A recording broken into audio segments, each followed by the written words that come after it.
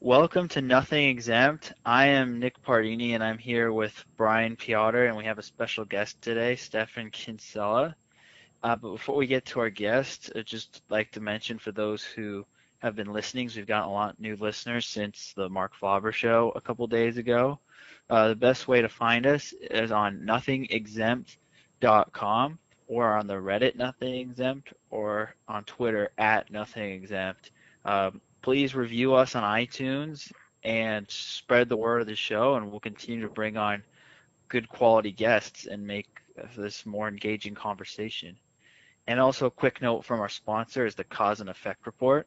It's a, a way to learn more about the markets and macro trading from a direct perspective of a hedge fund trader. Uh, it kind of just helps you figure out like some of the big picture trends and how to position your risk in the right way and pick the right companies to profit off that. However, the cause and effect report alone is not investment advice. You still need to do your own research, but it might be a good way to just make you think a little bit differently about financial markets. Uh, now, Brian will introduce our guest. Well, Nick, you already did that, but Stephan here is a patent attorney in the great state of Texas, and he is also a libertarian, which Seems like quite the contradiction. And Stephan, I haven't introduced myself. My name's Brian, and I am a mechanical engineer. I happen to have my name on a patent, and I've attempted another one, and I've become very uh, disillusioned by the whole system and know that it is a giant big waste of money and a way to go after small guys with lawyers. So I want I wanted to hear from you. What's it like trying to run into the patent system as a libertarian? Like, it, do you feel like you're making a big difference every day you go to work, or does it feel like it's a behemoth yeah. that is going to win in the end? Oh, that's a good question. Um, I mean, it's it's not a career path I would necessarily recommend. It's, it's a career that would not exist in a free market where there wasn't patent and copyright law. Um, it's like being a, uh, it, you know, it's like being an oncologist, a cancer doctor in a world where there's cancer. You hope that you can have a world where there's not cancer, but so long that there's cancer, there's a need for cancer doctors. Um, or so long as there's uh, the state prosecuting people for tax violations or for drug crimes, you need defense attorneys. So they do a useful service given the system that exists.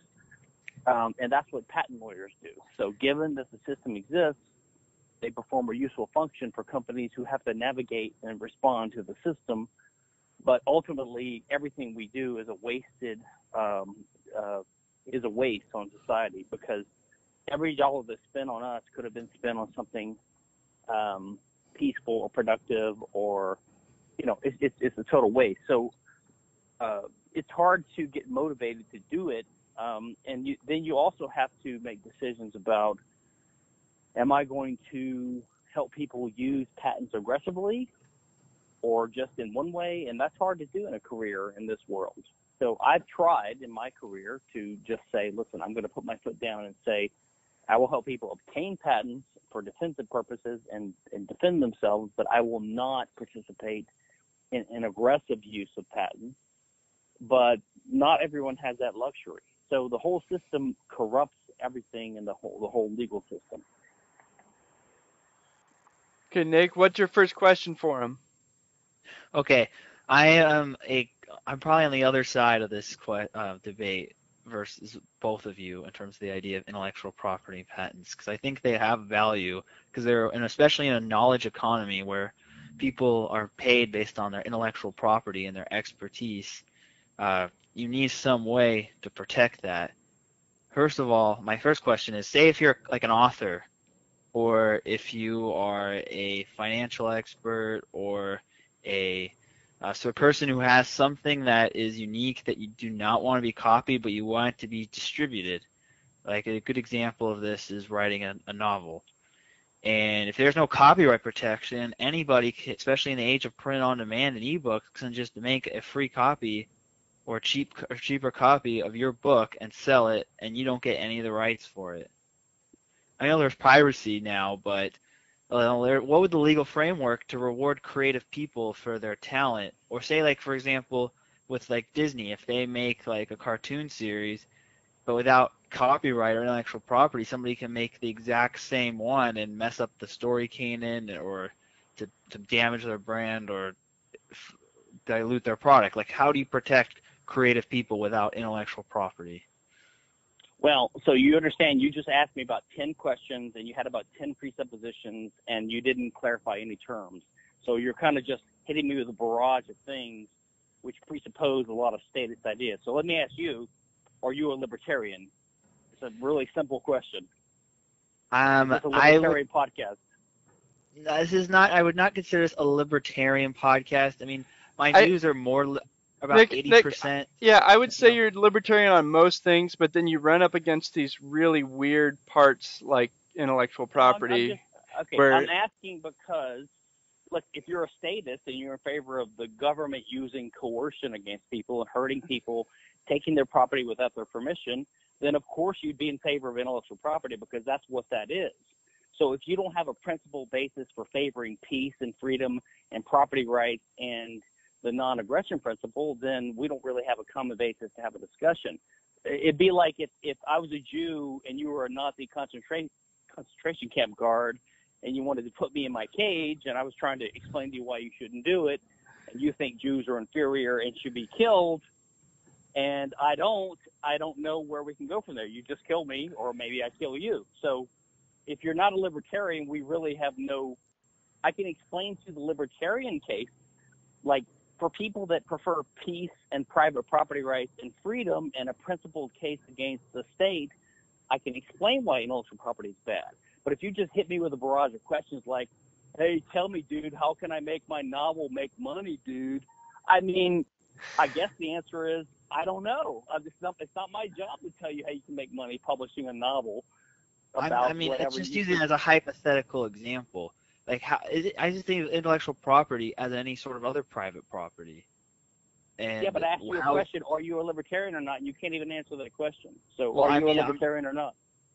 I probably am not consider myself. I'm not a statist. You don't even really you don't even know. I mean, I don't know how to answer this question. If you're not a libertarian, um, I lean you- libertarian on most things, but uh, on this issue, I So, so you're you're you're against aggression usually, but sometimes you're in favor of the government using aggression against innocent people. Is that right? I like you, Well- Stephan.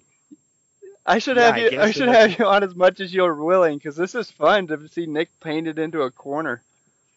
Well, it's it's just you have to know who your audience is, and some if someone, you know, if someone is a statist and they want they want me to tell them, I mean, I, I just need, I just want to know: Are you against aggression or not? Are you in favor of private property rights or not? And yes, I have favor of private property rights, and I just consider intellectual property to be one of those private property out there. Like, Well, it- well, it- well, well, then, well, well, then, why don't you define for me what you think intellectual property means? intellectual property is either through patent or a copyright. It's it's your it's a creation that somebody makes that should that you have that's your exclusive right to sell, which whether that's um, Okay, so so you don't, you don't know what it is, and you, that's not a definition. So, but you think it, the word I heard in there was the word creation. So you have in your in your head this idea that if you create something, you have a property right in that thing that you create, right? So you you kind of probably think that if you use your intellectual creativity or your labor and you work hard at something, then whatever results from that, you have a property right in. That's kind of your basic Yes. here. Is that correct? yeah yeah that's correct. Well, well, well, that's totally wrong because there's no, there's, you don't own your labor, first of all, and you don't have a property right in the fruits of your labor. All we own is scarce resources in the world. This is the entire purpose of property rights. Property rights are a solution to the problem that we live in a world of scarce resources where there are things out there that we want to use to accomplish things in the world, but they are scarce which means that only one person can use them at a time. So there can be conflict over these things. And people that are interested in peace and cooperation want rules to say, okay, for this resource, A owns it instead of B. And that's the solution to the problem. And then they go about their business and they use it, and that we have a, a division of labor, economy, specialization of labor, uh, and everyone can trade with each other, and everything is fine. Okay, so that's basically the roots of libertarianism, which I thought this was a libertarian podcast, and that you guys would understand what it means to have free market principles and protection of private property rights. Okay, now you can't just make up a word like, oh, yeah, I believe in intellectual property too. I mean, you might as well say uh, you believe in property rights to freedom from fear and freedom from want and freedom from deprivation, and that your Social Security payments are some kind of property right too. I mean, what's the difference, really? Or you have a right to health care, or a right to an education, or housing, or clothing, or whatever. These are all positive rights that always take away from the negative property rights in scarce resources that the legal libertarian system would always protect. So I don't know what to tell you, but there is no right to get rewarded for your intellectual creations. All you have the right to is the physical integrity of a, a piece of physical property that you own by one of the rules. And there's only really two rules. One is if you find something in the world that is unowned, you can appropriate it. Okay? That's called homesteading. Or you can acquire it by contract from a previous owner. So contract and homesteading are really the only ways to come to own things. Okay, so there's a, a, a, piece of land or a car or a stick or whatever, and the person who finds it or buys it from someone else can sell it to you in commerce. Right, and those are the those, those are the only two legitimate ways. There are also illegitimate ways: theft, bribery, and extortion. Yeah. So there's so so so there's a political means, and there's and there's the economic means. One is productive, one is is expropriative, right? So one is unlibertarian, one is libertarian. I am actually what we call, with quotes, a libertarian. So I'm against stealing things from people. And that's what intellectual property does. Patents and copyrights mean that the government tells some person they can use the government courts to prevent to prevent a person who owns property from using it as they see fit. And to my mind, that's theft. So now let's go back to your question. Your question was if I'm a novelist, how can I make money, right? Yeah. Something like that. Well, let me ask you a question. How can you make money today in today's world where there is copyright? How do you make money with a novel? You write a book, you have it, and you sell it either self-publishing or through a publisher, and you collect royalties on every sale. I've written several books, and this is how I've gotten paid on it. Right and, uh, uh, and and why is that impossible if there's no copyright? Because right now, people can copyright, they can pirate your book, right? They can copy your book. Yeah, but I, if there was, if your oh book yeah, is popular, there's there's probably pirated copies on the internet of your book if it's at all popular, correct? And if it's not popular, then we're not talking about a lot of money anyway. Yeah, but if the thing is, if it was legal to just copy and pirate books, there would everybody would do it, and therefore, basically, the value. Wait, wait, wait, wait, wait, wait, wait. Why, why do you say everybody would do it? Let me ask you a question. Is it, it's not legal now, but it is possible, right? It's easy to, to pirate books, correct? Yeah. I mean, let me ask you a question. Do you think that the Bible or Shakespeare's plays are covered by copyright? No. Okay. Well, why does why don't people publish Shakespeare or the Bible under their own name on Amazon now? Because there's no legal prohibition against that. Because the, the the publishing company at the lowest marginal cost will do that. That was no, real. I'm saying that it's not illegal.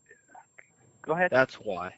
Because you, as an individual, you cannot publish it as low marginal cost as a big distributor. That's why these classic books sell for a fraction of the price of newer books because the author does not need to be compensated. That, yeah, that, but this doesn't that, happen. So so you you can't go on Amazon right now and find a, a, a pirated version of, of, of As You Like It by Shakespeare or the Bible. It just doesn't exist. It doesn't happen, even though there's no legal prohibition against it. Well, that's because you can get it for free anyway on Project Gutenberg. There's no need to pirate it. Yeah, but that but that's my point is that so if you're if if you write uh, novels, you always face people that can compete with you. Okay. And so, let me give you an example. Let's suppose you start a new a, a new business, like you want to sell new circuits or new or new widgets or new bicycle chains or new circuit boards or whatever you want to do, or a new pizza restaurant. You know that if you're successful, then there are going to be people to compete with you, right? You will you will face competition, right? Yeah. Okay, so as, as soon as you make a profit and people see that you're profitable, you will face competition, and that will start making it harder for you to keep to maintain your profit levels. Now, is that a from a free market perspective, is that a good thing or a bad thing? I think it's a good thing. I think free market competition is a good thing. Yeah, that, that is generally a good thing. Um, the, Okay. like, and I, good. uh, The other thing is, is in in the in the place of intellectual property and patents, like especially in the era we have with a lot of tech oligopolies right now, if you invent a new, say, technological software application in Silicon Valley, and you have no intellectual property protection, what's going to stop Facebook or Amazon from putting you out of business in like a week? Okay, Nick, can I can I answer that one first of all? Nothing, Okay. and they'll do it even if you have intellectual property, and they'll stall you in court i until you run out of money, and you probably won't win. I, I think that I think the mo- the average American has this really misconceived notion of what the patent system is. It's about like the little man protecting himself against the big man, and and his mousetrap is going to be protected because he's a good inventor, and now he'll be able to be rich and won't. The big corporations won't put him down and make him poor by copying and stealing his inventions. But that's not how the patent system works. Like that's not my experience with it anyways. My experience with it is it's slow, it's convoluted, and your patent isn't worth very much at the end when you have it. And if somebody steals your stuff, you have to actually sue them and win a judgment against them in court, which can cost you millions of dollars, which you probably can't come up No, with. no, but yeah, and that's all correct. But but Nick basically is asking what's to stop people from competing with me, and he's he's actually being inadvertently honest, I think, by admitting that the entire impetus behind the patent system is to have the government come in and to interfere with competition. That is protectionism. We you know we call that in libertarianism and economics we call that protectionism. It's protecting people from competitors. That's what mercantilism is. Uh, that's what protectionism is. And why why would you be worried about the fact that if you make a product, people can easily compete with you? Um, I understand as an entrepreneur, your job is to try to figure out how I can make a profit and keep the profit going, and what competitors would I face. Okay, but the fact that it's easier for someone to compete with you because they can just copy your novel or your or your design, if, it, if a lot of the value of your product is embodied in things that are intellectual in nature and design oriented in nature and easy to copy, I understand why, as a entrepreneur, you would be worried about the threat of competition. But that's the free market. The free market is that you face the threat of competition, and people can copy and emulate you and do what you're doing. You know, if you build a log cabin and people have been living in caves before, everyone will see, oh, this guy built a log cabin. That's a possible thing to do. And because you made this feature of the world public by doing it in public in a way that people can see, you've taught them something inadvertently or advertently. Does, I don't know. It doesn't matter. But you you you revealed information to people, and they are totally free to use this information to make their own log cabins with their own logs, as long as they don't burn your house down or take your logs to make their own cabin. They're not violating your property rights.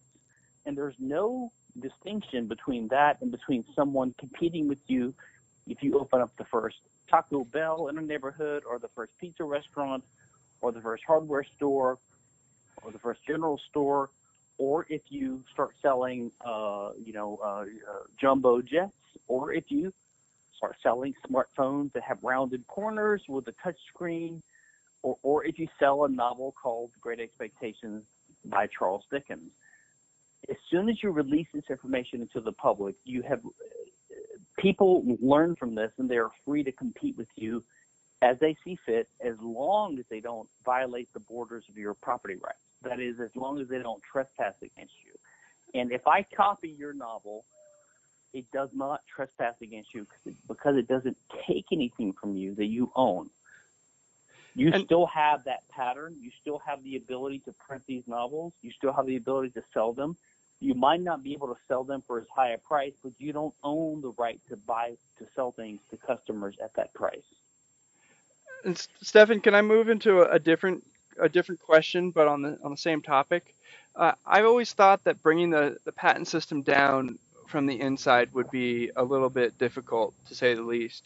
But now that I've seen different people on the internet at Alibaba or Amazon or many other sites openly selling copies of things, uh, I realize that it's become almost impossible to shut down what is a thousand copycats.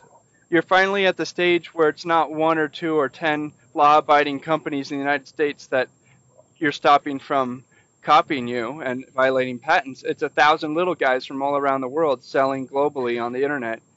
Do you think this could be the final like destruction of the patent system that keeps people from filing patents in the first place and going through the process anymore? Well, I think that the advent of the internet has severely damaged the copyright model. Um, in other words, it's easy to copy things now, like books and design, things that are covered by copyright. And so um, I don't really think that, that things will ever get, it will ever be harder to copyright things in the future. It will be only easier because the internet is the world's greatest copying machine. So people can easily use encryption and BitTorrents and things like that, um, thumb drives, whatever they want to do. They will they will get around these things. That's why only a small percentage of movies and music is now sold, so to speak. Um, so the question is, what about patents? So patents cover the production of physical goods that have a certain uh, design implemented inside of them, and because it's, it's anchored in the physical world, it's fairly easy so far for the legal system of our statist court system to enforce patent rights. But I believe that in the future, as the 3D printing type technologies and things like that become more advanced, and I'm talking decades down the road, when you can imagine a, home printer or a community printer that could print an iPhone or something that advanced, and you know, let's say 50, 60, 80 years down the road. At that point in time, it will be become almost impossible to enforce patent laws, just like it's almost impossible to enforce copyright laws right now. And I think that's a good thing. And I am hopeful that uh, the advent of Bitcoin and other technologies will make it impossible for the state to enforce drug laws and tax laws and things like that every one of these illegitimate government laws, drug laws, tax laws, conscription laws, um, uh, patent and copyright, state monopolized education, every time we have a technological revolution that makes it easier for people to evade these laws, um, is a good thing. Um, I won't encourage people to evade the law in the open right now, but I think that you know, in a societal perspective, the easier it is for people to evade these laws, the better. And the government will become more and more impotent, and it will just wither away. That's my hopeful. That's my goal. That's my hope. Uh, you know, in state.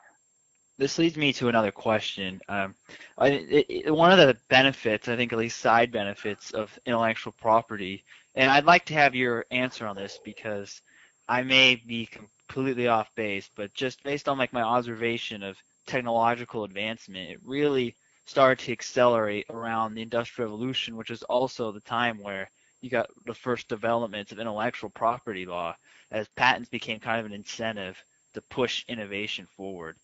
I mean, what do you think, like on the pace of technological change, how would that be impacted in a society without intellectual property? Well, so uh, let's let's take patent law. So patent law was um, rooted in uh, the practice of, of monarchs in England and Europe in the in in, in uh, centuries ago of granting just monopoly. So they, they would write on a piece of paper, you know, John Jones has the sole exclusive right to sell sheepskin or wine or or, or, or, or playing games or, or playing cards in this town. And that was a, a monopoly privilege that he granted to them, and usually in exchange for some kind of payment. Like he would say, I'll give you the monopoly to be the only one who can do this in this town. Um, you have to give me taxes or help me collect taxes or something like that. So there's always some kind of arrangement. And it got out of hand, and so Parliament passed the Statute of Monopolies in 1623, and they, they, they prescribed or limited what the, the monarch could do, but they, they retained his ability to keep granting these monopolies for uh, for technical innovations. So basically, it arose out of the practice of granting monopoly privileges, which is protectionism, because um, you're protecting someone from competition. That's explicitly the purpose. And and you know, even your arguments earlier, you were saying like, how are you going to make a profit? I mean, the idea is that if the government gives you a monopoly privilege grant to to to make this invention, you can you can sell these things without competition, and so you can sell them at a higher price. You can make a higher profit and therefore you're incentivized to put R&D, research and development dollars into it, right? So implicit in all these arguments is that you can sell things at a higher price. There is a monopoly price, which means you're ripping off the consumers, right? And that was the original argument hundreds of years ago for the whole patent system. Um, and it was reined in. And then at the beginning of the Industrial Revolution, right around the time the United States uh, seceded from Britain, um, we put that in our Constitution. The Congress passed patent and copyright laws, and we started having these laws, and then Europe Europe followed suit. So for the last 200, 240 years, we've had an institutionalized, democratized, statist version of patent and copyright laws, and everyone assumes that because they accompanied the rise of industrial progress in the West and in the U.S., they uh, they are a type of property right that goes hand in hand with incentivizing innovation and promoting progress and promoting wealth. That's the assumption, but there's no proof of this. In fact, all the economic econometric studies of this prove the opposite. Um, you know, they show that uh, pat- the patent system uh, is a drag on innovation. It's a cost. It distorts innovation. It makes people uh, not invest resources in a given field because they know that they can't compete in this field. Because if I compete in this field, I'll be sued into oblivion by Apple. Like if I want to make a new smartphone right now, I don't have any patents to defend myself. I'm a small guy. I might have a new a, a good idea for a new smartphone, but Apple and Samsung and Motorola and Google are going to sue me into oblivion with their treasure chest of huge patent portfolios, right? So what happens is the patent system results in oligopolies uh, that wouldn't exist without the patent system in the first place. Because without the patent system, there would be no barriers to entry, uh, no legal barriers to entry. People could easily compete, and they would they, they would be able to make an, a, a duplicate of a smartphone if they wanted to, a duplicate of the iPhone, as long as I didn't defraud people, and that's a fraud law case. Um, so the patent system hinders innovation and distorts the entire scientific culture, and it makes us poor. I mean, I literally believe that we are the human race has been retarded by centuries because of the patent system. The last 240 years have been an amazing period of industrial advance, but it's been despite the patent system, not because of it. And and that's, that's not perspective. That's not to mention millions of people who may have died due to protected drugs patents who couldn't afford drugs. Uh, maybe not millions, maybe hundreds of thousands. But if your drug would have been two hundred dollars without the patent system, but it's five thousand dollars a month, then maybe it's a bad thing. But hey, that's yep. just me. I totally agree. so, but before we go, is is there something that's on your mind that you've been reading about these days that you want to talk about, or any other questions that uh, that you're that's on your mind right now? Nick, uh, sorry, Well- t- talking to Stephan. No, I'm o- I'm open to any questions you guys want to ask, but um, um, I talk about property rights, IP, um, uh, I- I- anything that people are interested in. I try to answer it, but Yeah. uh, I mean, Bi- Bi- Bitcoin, of course, is, is is one interesting topic, and the question of whether Bitcoin can be owned, um, and legal issues like that. But that's a little bit esoteric for some people. It depends on who's interested in it. Well, actually, that leads me to two questions. The first one is how would you have, how would a service economy, or not really a service economy, like an innovation economy work without intellectual property if a lot of creative people are how, uh, compensated? Like, how would you design your, like, how would people legally, maybe not have a patent, but what would the alternative be in your non-patent world? And So, second, with Nick- cryptocurrency. Nick, Nick, no, let's just go over. So you're asking what would people do to protect to to have trade secrets? Is that what you're asking? Yeah, so yeah, they have trade secrets with the same without how uh, uh, without like having their product be reverse engineered. Like, I mean, I'm not an expert in patent law, but Or that's technology? my general question. Yeah. Well, I have a I have a little monograph which uh, Jeff Tucker published at Laissez Faire Books a couple of years ago. It's called something like "Doing Business Without Intellectual Property," and it's it's basically like kind of quasi practical, quasi libertarian advice for if you want to try to avoid using intellectual property. Here's how you can understand it and do it. Um, and it's on my website c4sif.org. Um, I don't necessarily recommend that people pretend like patent and copyright and trade secret law don't exist. It does exist for now. Um, I hope that it will be abolished eventually, but in the meantime, you have to use it. I think you can use it judiciously and morally. You can try to use it only defensively and not aggressively.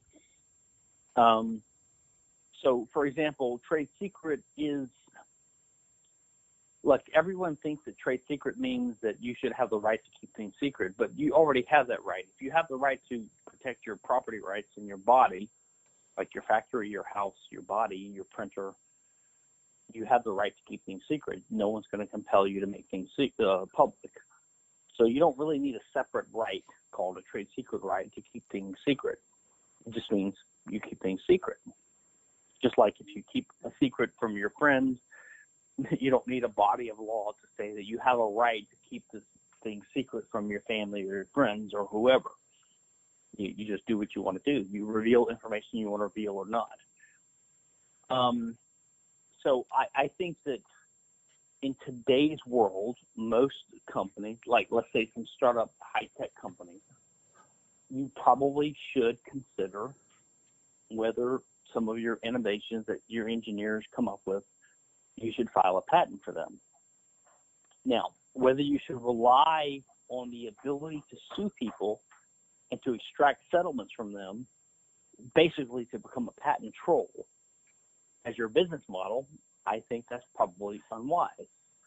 Uh, on the other hand, some patent trolls have become fabulously wealthy. So the problem is not the way people respond to legal incentives, it's the legal incentives themselves, right?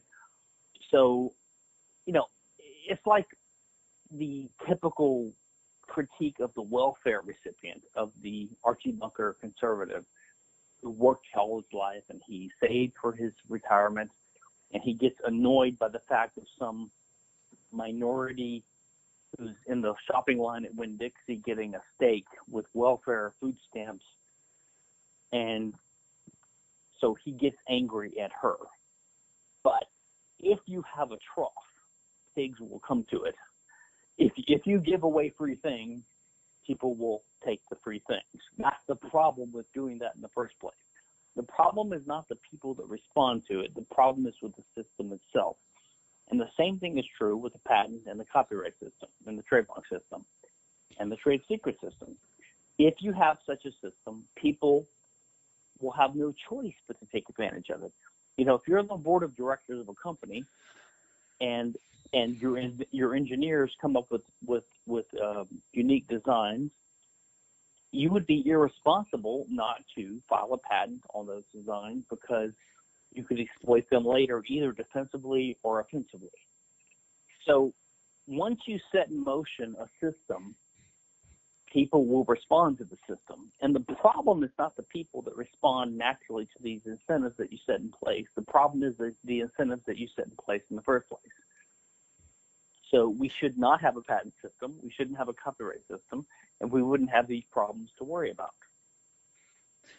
Yeah, that also leads me to the question on cryptocurrencies versus gold. Whereas gold is a physical commodity, and you can't, at least with current technology, replicate gold molecules at a cost effective level. Whereas since there is no real intellectual property in the cryptocurrencies, you can make your own copy of a Bitcoin with the same exact properties, label it something else, and that kind of effectively dilutes the money supply. Uh, am I? I mean, what is your view then on, on gold versus cryptocurrencies? Is the fact does do cryptocurrencies need intellectual property to be viable? So, I think you have a point in that one defect of any real world currency is that it's not ideal. In other words, gold is not perfectly scarce. It can be produced or found, right? So the supply yeah. is limited, but it's not zero. It just takes more resources to find more gold or even to make gold. Um, but it works good enough to be a currency, right? To be a medium of exchange. Um, Bitcoin if you look at Bitcoin itself, the one Bitcoin of all the other cryptocurrencies has a limited supply, 21 million by the year 2140. Um, and therefore, it's got advantages over something like gold, but it's got disadvantages. Uh, the disadvantages are legal ones mainly, like the government um, treats it as a, a, a commodity, which is subject to capital gains and sales taxes and things like that which severely hampers and impedes its, its, its adoption. Um, but I think that's temporary. I mean, this is just temporary in the phase of human evolution. Um, so no, I don't think intellectual property wouldn't help Bitcoin at all. I think Bitcoin just needs to be released from government restrictions like uh, being classified as a commodity and, and being taxed. Um, if the government would just have a hands-off approach and stand back and let it do what it's going to do, then we'll, see what Bitcoin's going to do. And I think it, it probably would outcompete uh, fiat currencies because it's got advantages in almost every way to these currencies. But it would take time.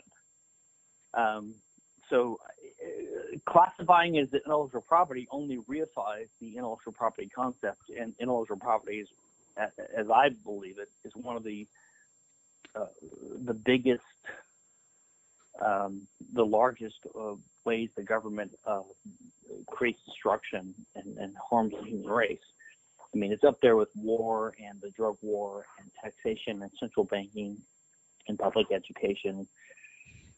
So, you know, we, we, we don't want to extend the intellectual property idea to Bitcoin. We want to free it from government clutches.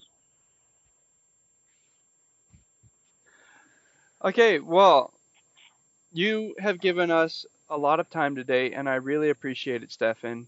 Uh, I know that you're a busy man, and coming on this podcast is something you didn't have to do. So I just wanted to say thank you. And if you, if there's any way that a listener to this podcast can find you, how how would you how would you prefer that they do that? Oh, just go to stephankinsella.com, and everything is findable from there. Okay, and I, I, did want to remind you that we did a poll on who to invite on the podcast, and you were number one, and that's how we found you. So I'm really thankful to everybody everybody on Reddit who suggested you because I had a blast today, and listening to you go after Nick on this is just made my week.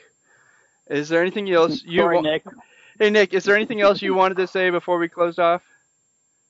Well, no, thanks for coming on. I mean, I agree with libertarians on like 80% of issues.